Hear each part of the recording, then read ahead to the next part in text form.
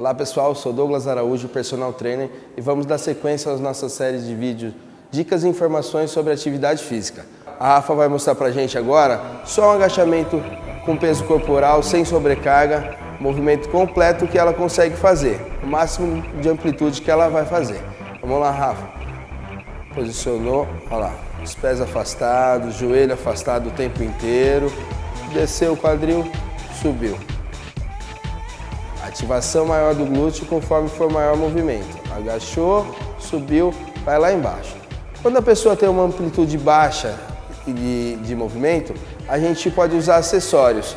Agora a gente vai mostrar um pouquinho com um caixote.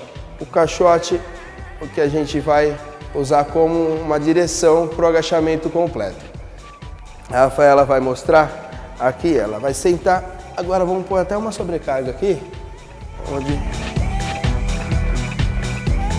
vai dificultar o exercício. O caixote é baixo, o caixote ele vai te dar apoio para fazer o movimento completo do agachamento. Vai subir, isso, agora vai lá embaixo, ó. aí relaxou. Criou confiança, sentou e subiu. Pode só encostar no caixote e subir. Não solta o peso todo no caixote, trava na perna. Aí vai melhorando cada vez mais seu movimento. Legal? Isso. Vai sentar, subir. Olha lá. Não solta o peso do corpo no caixote a hora que criou a confiança. Só usa ele como direção, como um, um ajuste para o seu movimento. Muito bem. Encerrando a aula de hoje, agradecendo primeiramente a Rafaela, que está toda suada aqui. Sentiu mesmo o bumbum ficar durinho ali, ó. Pegou mesmo nos exercícios que a gente passou hoje.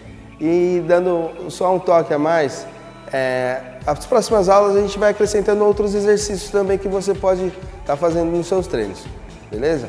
Não percam, procurem acessar, compartilhe com seus amigos e estamos aí dando dicas e informações sobre atividade física. Personal Douglas Araújo. Muito obrigado.